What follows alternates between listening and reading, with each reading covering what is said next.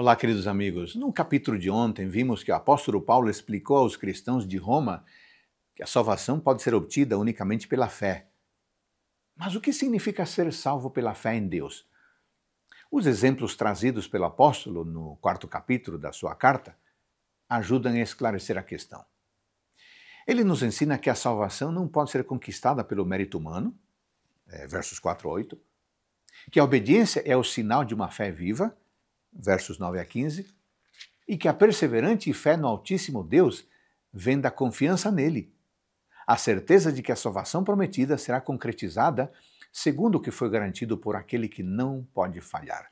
Versos 16 até o 25. Ao longo de todo o capítulo, Paulo explica como isso se cumpriu na vida de Abraão, o pai da fé, que é para nós um exemplo do que realmente significa confiar em Deus. A primeira lição que tiramos da vida de Abraão é que não podemos nos gloriar diante de Deus por coisa alguma de origem humana. Não merecemos ser salvos, pois o nosso problema é mais profundo que uma simples lista de coisas que devemos ou não fazer. Como o apóstolo Paulo explica em outros lugares, o pecado faz parte da nossa natureza. E isso nos torna parte do problema. Jesus explicou que apenas um novo nascimento pode mudar a nossa situação. O próprio Abraão, por mais zeloso que fosse, não poderia exigir algo de Deus, pois o que lhe foi prometido excedia em muito qualquer coisa que ele mesmo pudesse fazer ou dar em troca ao Senhor pela salvação.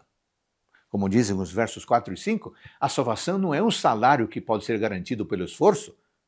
Quando o ser humano confia e recebe a salvação prometida, então ele é declarado justo por Deus. Citando um salmo, o Salmo 32, o apóstolo relembra como é bom ser perdoado e ter os seus pecados cobertos pela misericórdia divina.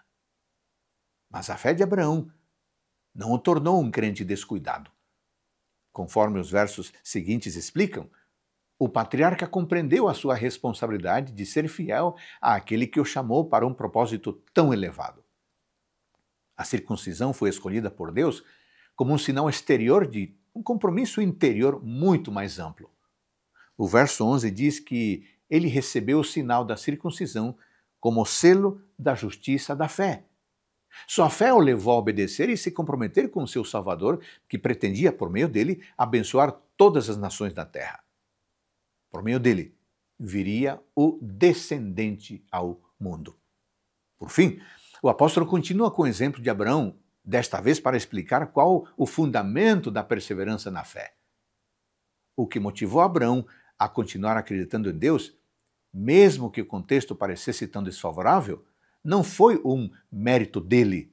O verso 18 diz que ele creu e viveu esperando contra esperança para que pudesse receber a bênção de ser o pai de uma grande nação.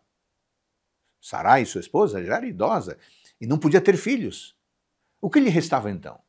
O segredo é que ele estava plenamente convicto de que Deus era poderoso para cumprir o que prometera, verso 21. Assim como Abraão, podemos persistir em esperar pela nossa salvação, por mais que seja difícil esperar contra a esperança, mas crendo que quem prometeu é poderoso. Como é bom saber que podemos ter a mesma fé de Abraão. Por gerações, os verdadeiros filhos de Deus são aqueles que fazem parte do povo que tem fé nas promessas do Altíssimo e cabe a cada um de nós seguir as pegadas desse patriarca. No capítulo de hoje, aprendemos que não podemos conquistar a salvação por nós mesmos, por mais que sejamos boas pessoas e tenhamos boas intenções. Vimos também que acreditar significa se comprometer as boas obras são a evidência de uma fé viva e atuante. Por fim, entendemos que o que garante o cumprimento das promessas de Deus é o próprio Deus que faz as promessas.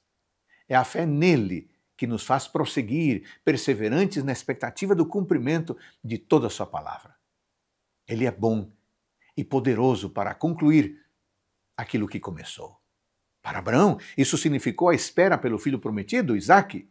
Para nós, significa a certeza de que o plano da salvação executado por Cristo chegará ao término quando finalmente conheceremos e viveremos face a face com aquele que é a razão da nossa esperança. Querido amigo, Que você tenha um dia abençoado por Deus.